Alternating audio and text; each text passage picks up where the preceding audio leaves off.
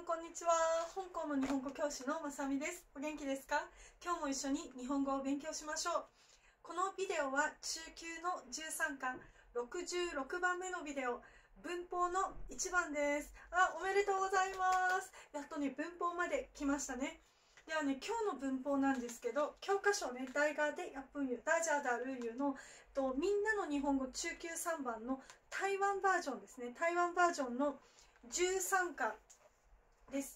このね1つ目ですね。これをやります。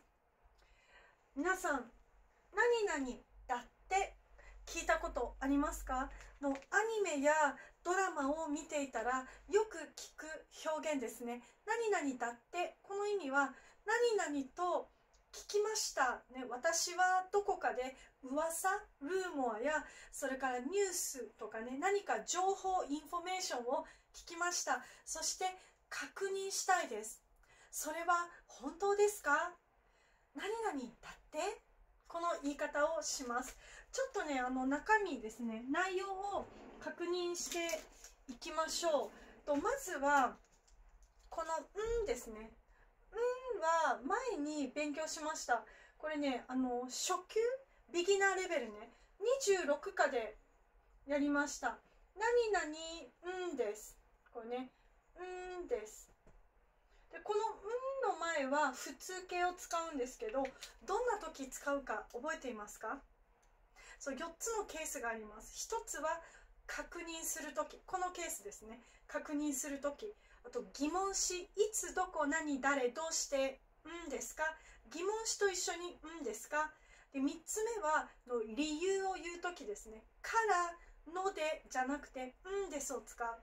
で4つ目はあの例えばアドバイスが欲しい時とかそれからうんそうですね手伝ってほしい時にその前にねちょっと説明する時に使います。例えばねあのあ例えばタクシーに乗りたいんですがどこへ行ったら乗れますか？とか例えば辞書を買いたいんですがどこに行ったらいいですか？どこで買えばいいですか？この時にあの辞書を買いたいんですがの「うん」とかタクシーに乗りたいんですがの「うん」とこれ説明の「うん」です。この4つのタイプがありました。今日はあの確認ですね。あのコンファーミングね。あのコンファームの確認の「ん」の意味で使います「ん」の前は普通形です。するんです。しないんです。しなかったんですとねこう使っていきます。で「だ」はこれはこの「です」何々んですのですね。ですの普通形です。そしてこの手。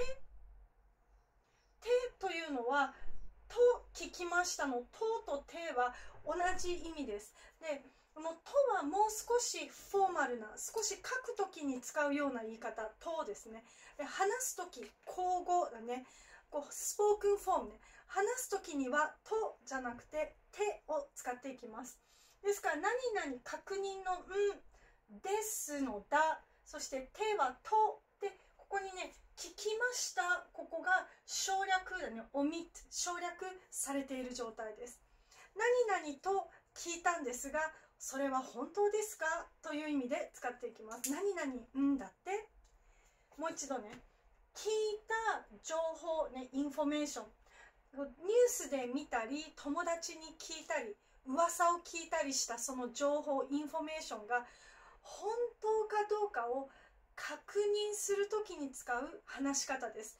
とてもカジュアルです。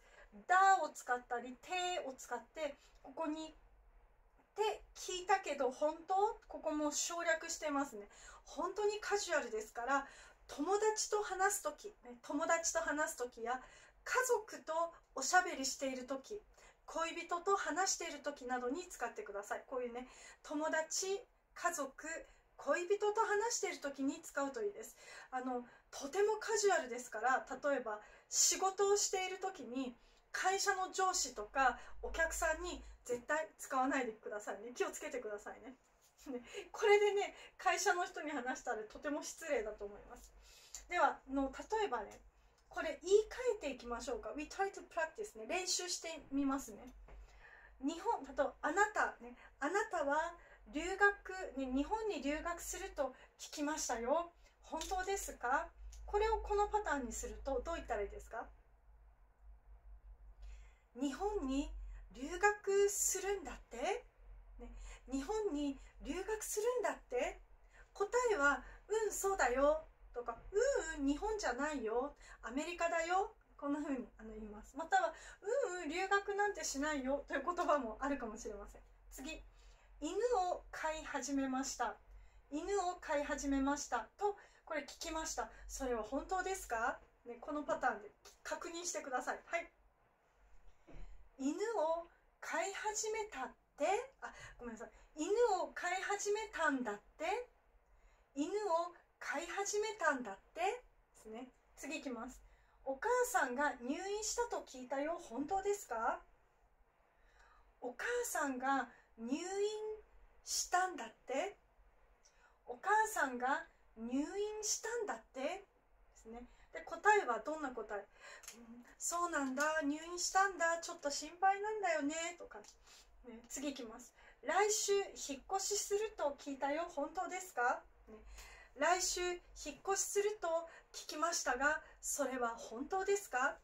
これを使いましょう。来週引っ越しするんだって？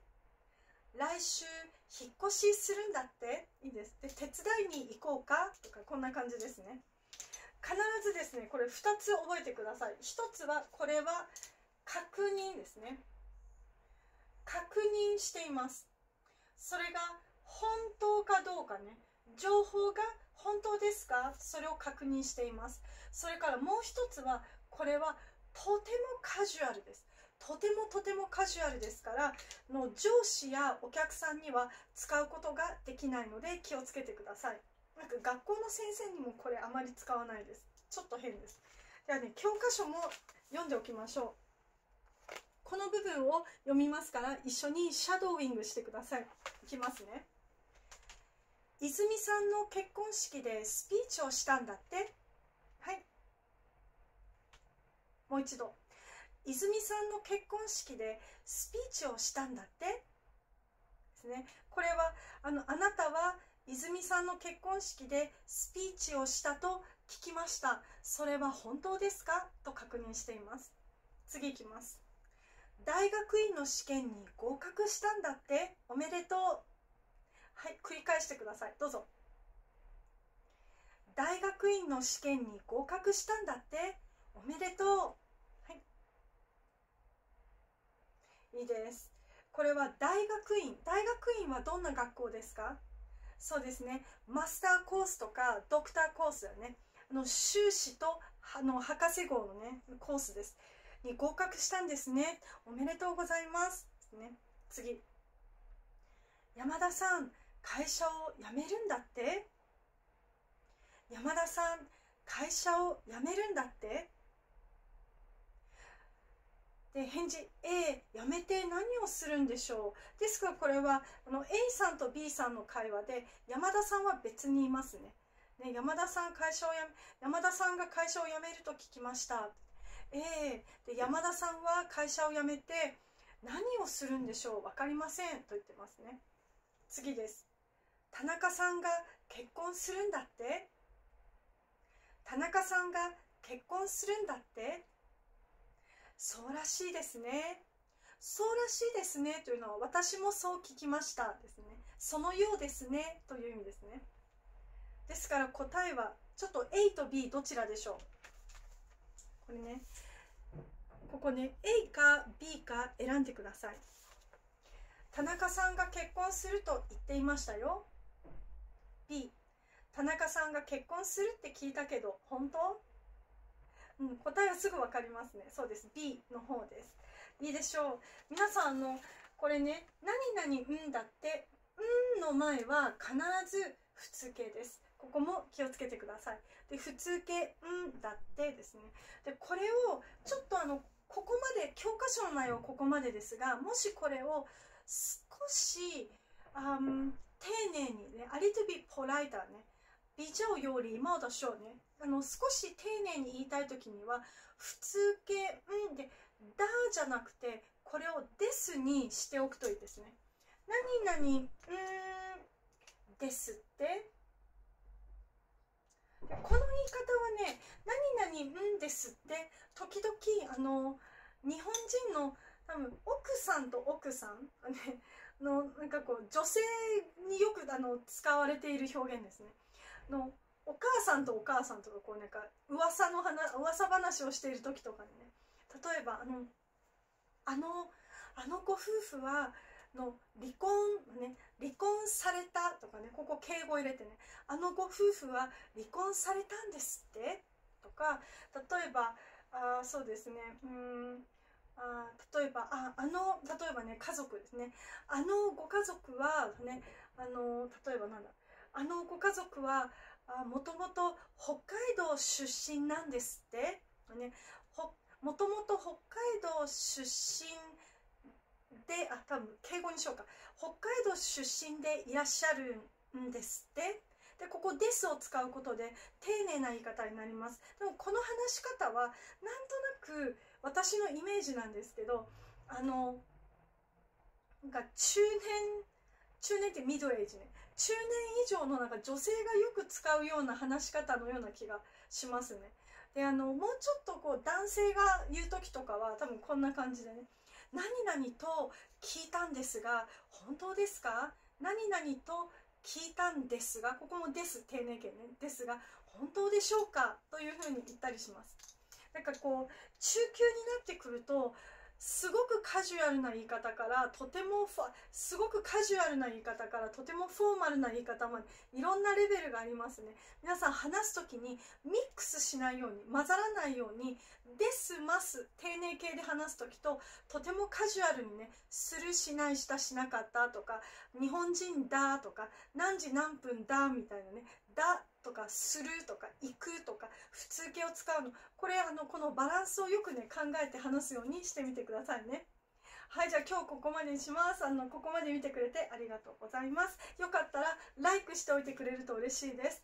あとなるべく毎日ビデオアップロードしているんですけど時々ねあの時間がなくてビデオが撮れない時とか休む時もありますがそんな時にはよかったらあの前のビデオとか見てください。あと今日今ねだいたいね今12分半ぐらいねちょっと短かったのでもう少し時間がある人はよかったら私のこうビデオ動画のリストから適当にねランダムに古いビデオを見てであの少し復習してくれると嬉しいです。時々初級とかね昔のあの文法を復習するのもいいかなと思います。ちなみにこれとあの似ている表現は何々そうですねね、天銀は、天正 I heard ね、何々そうですねとか、あと何々と聞きましたとか、と普通形「んですか?」これは26からね「何々んですか?」とか。この辺りが同じ表現になっています。一緒に復習してみてください。じゃあまたあの明日一緒に会いましょうね。あ明日一緒に勉強しましょう。ではねよかったら LIKE しておいてくれると嬉しいです。よろしくお願いします。じゃあまた明日ね。バイバイ、はい。